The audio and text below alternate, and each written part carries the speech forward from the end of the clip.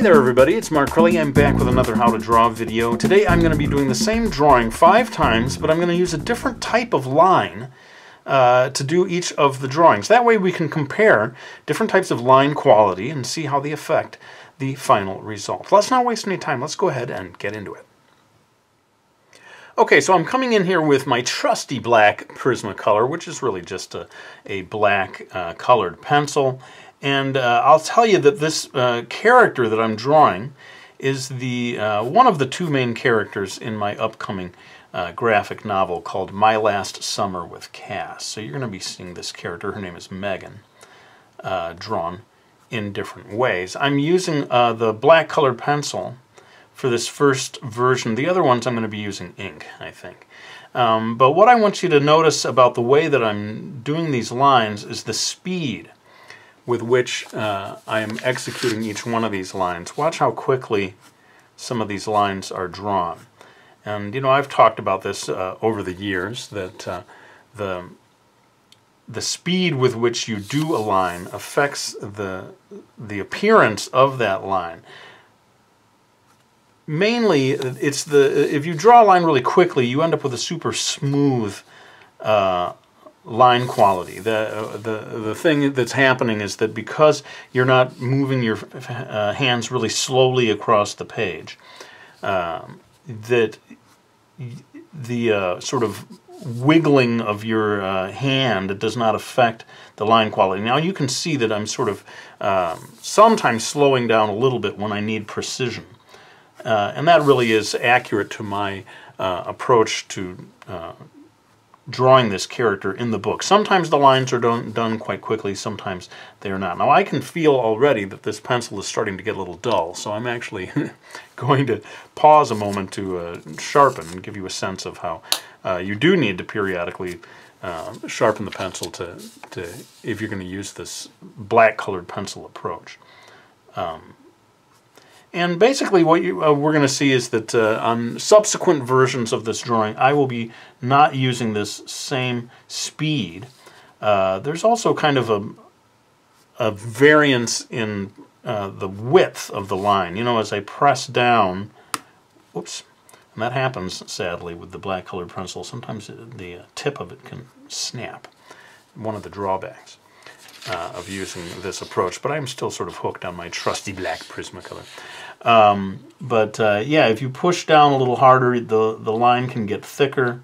Uh, when you let up on the line and uh, just, here I'll show you, let's see if I can do the, the bridge of the nose in a very light line, right? Because I'm not, I'm not pressing down very hard. Uh, whereas down here, let's say, maybe I do give it a good push.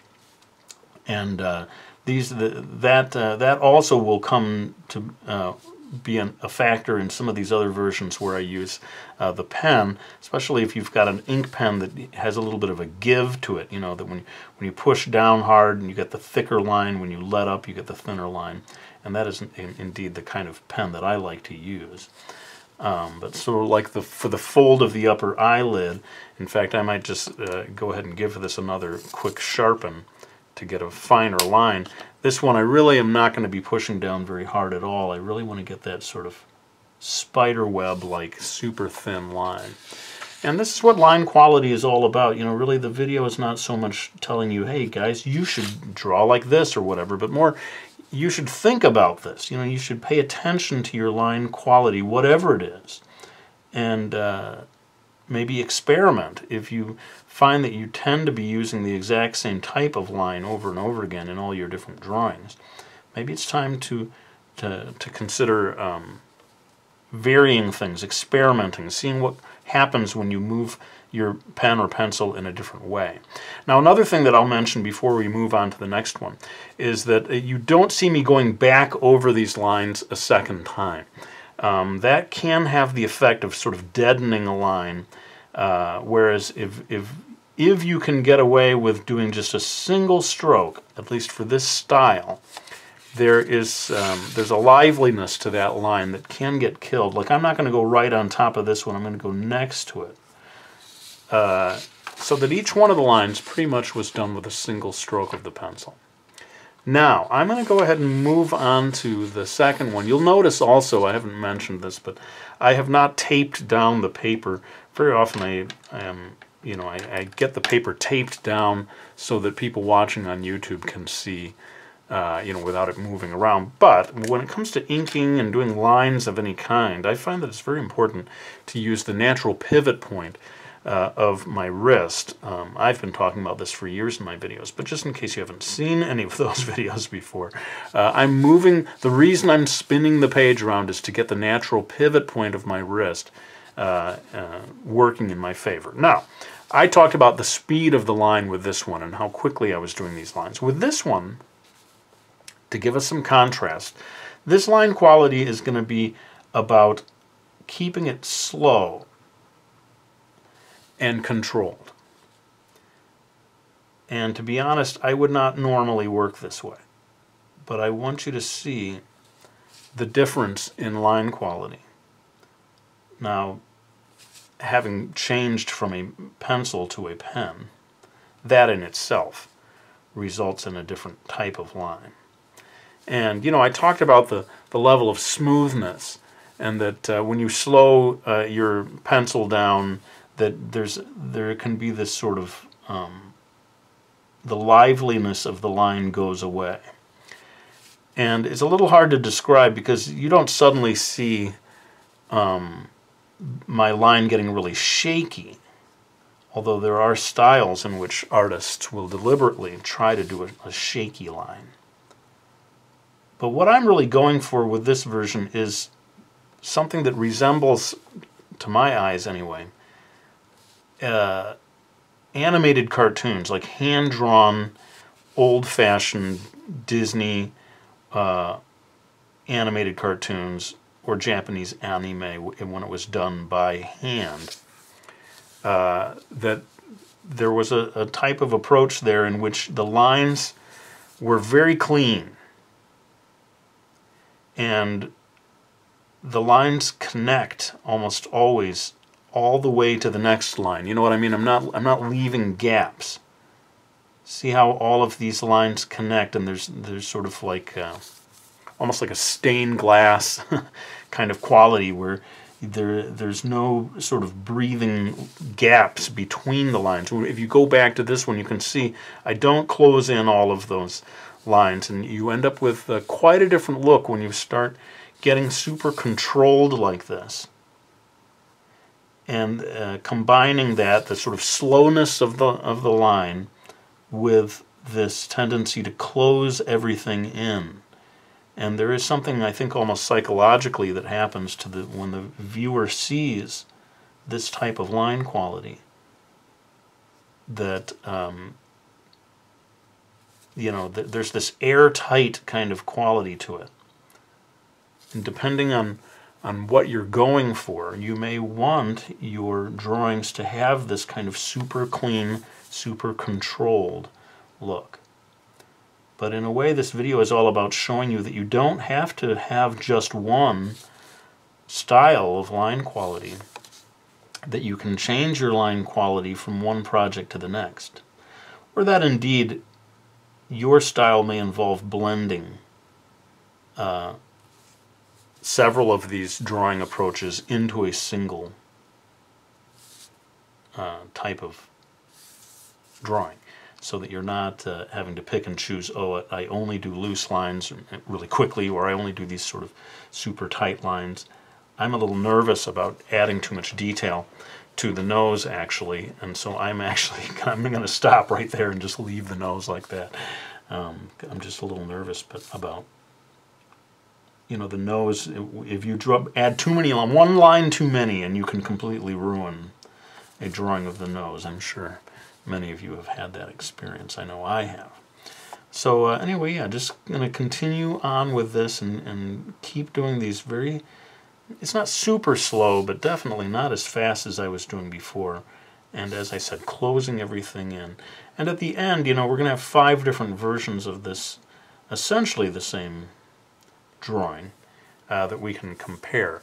And uh, I don't mean for one of them to be declared the winner as superior to the other or whatever, but even right now you can start to compare uh, how much line quality affects the final look of a drawing. Well, I'm going to move on to this next one. I hadn't intended to just do this all real time, but why not?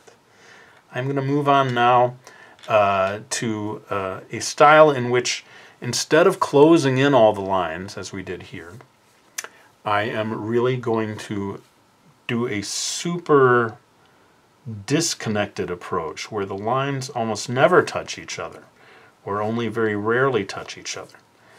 And this is, you know, attempting a style in which the white of the page is constantly showing through. And, um, you know, art, te art teachers tend to talk about letting something breathe. You know, when if you let the white of the page show through, the, the air, the, the drawing is being allowed to breathe rather than uh, being having everything closed in so tightly as I had done before.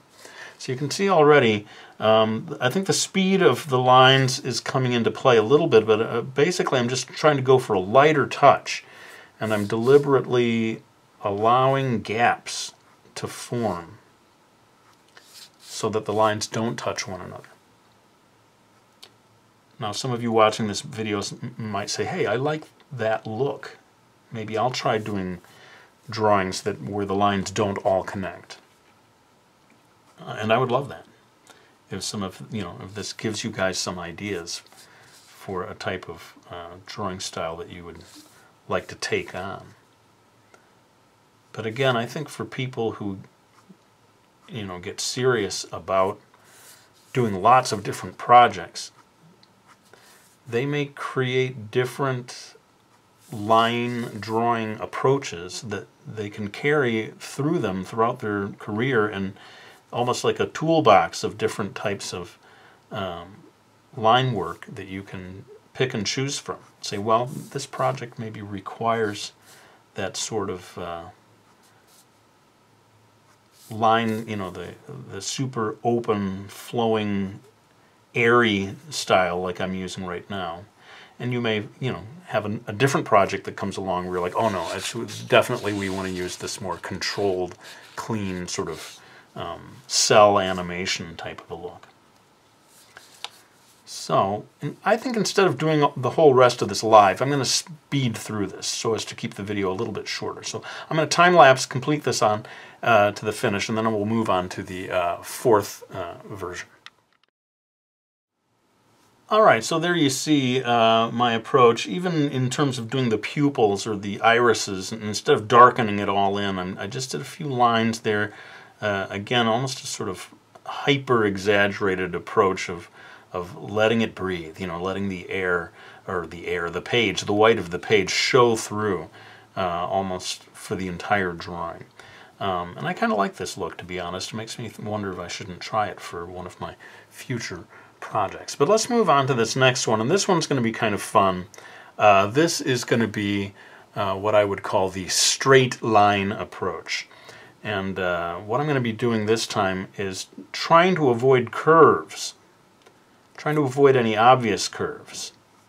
And maybe in terms of uh, whether all the lines connect with one another or not, I will do a sort of blend of these different styles where the, the white of the page can sometimes show through, uh, but very often the um, lines do connect, so, so as to give you an example. But notice that I'm trying, even when I come to parts of the drawing that would normally be rounded, I'm actually trying my best to always use straight or semi-straight lines. And uh, it'll be interesting when we're done with it to compare and see what happens when you almost force yourself never to do a curved line. And as you might imagine, it, it, it has it starts to look mechanical almost, but it can be a nice look. Again, I don't think I've ever used this for one of my published uh, projects.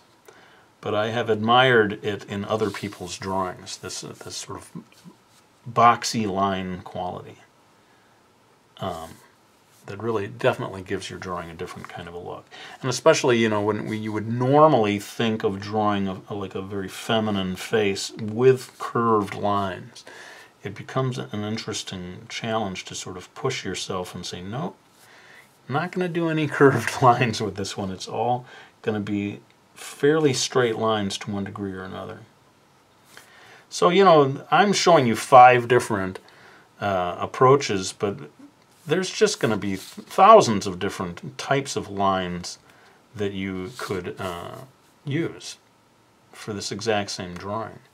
Uh, I just happened to choose uh, five for this video, but um, again, I hope that this gets people thinking, oh wow, I don't have to do all my lines in a certain way. I could start experimenting and trying uh, different approaches.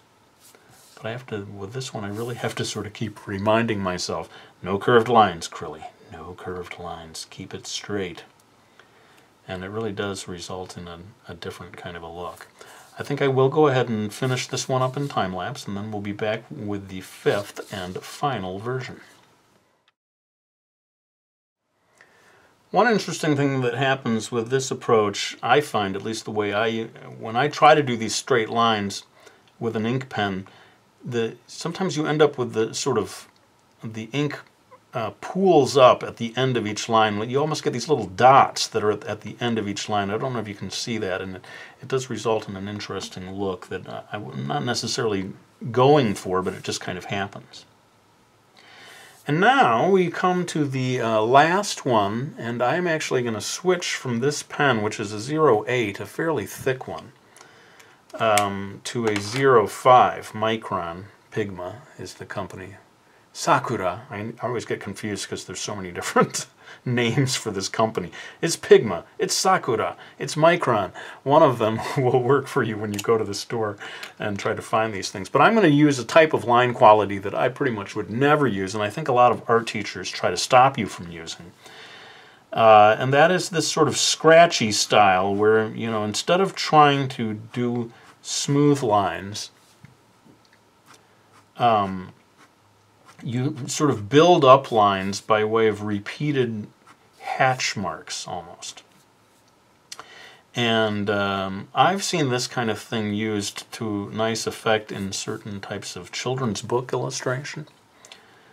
Um, and the fact is, you know, regardless of what a, an art teacher says to you about, oh, you shouldn't do the lines that way or whatever, the truth is, in the end, everyone comes up with their own way of doing lines, and that's part of what it means to be an artist, finding your own way of doing things. Um, so again, this is not typically how I would do, you know, going over and over again in the same area and sort of, it gets this sort of hairy, furry kind of quality, you know, of the, when you, when you do, when you repeatedly go again and again in the same area with several different lines instead of just one or two smoother lines. Uh, but again, I think almost psychologically the viewer gets a different kind of a feeling from this drawing, that, that sort of uh, hairy, sketchy quality.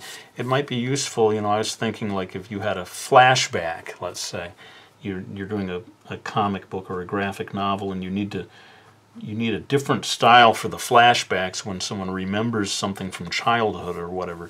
Just in that one section, you could switch to this sort of hairy line approach where uh, everything is very scratchy and crosshatchy looking.